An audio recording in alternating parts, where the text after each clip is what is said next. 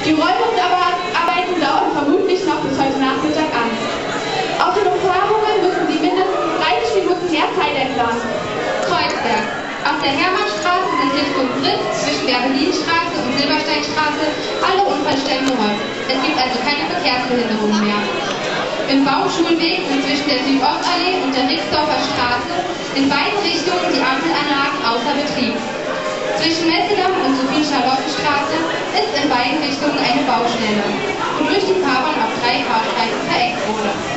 Aufgrund des Vorabends der Lessingers besteht erhöhte Staugefahr im Bereich der Guinea-Straße. Da mit sehr großem Andrang gerechnet wird, bitten wir Sie, auf das Auto zu verzichten und auf die öffentlichen Verkehrsmittel zurückzugreifen. Und nun zum Wetter. Im Norden kein Sonnenstrahl durch die dichte Wolkendecke. Während des Tages bis zu 5 Grad, in der Nacht minus 2 Grad. Der Wind weht mäßig aus West-Südwest, die Sonne im Westen.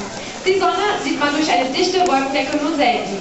Während des Tages bis zu 5 Grad, in der Nacht minus 1 Grad. Es ist fast windstill, nur ein schwacher Wind weht aus West. Wir wünschen Ihnen eine weitere musikalische Fahrt.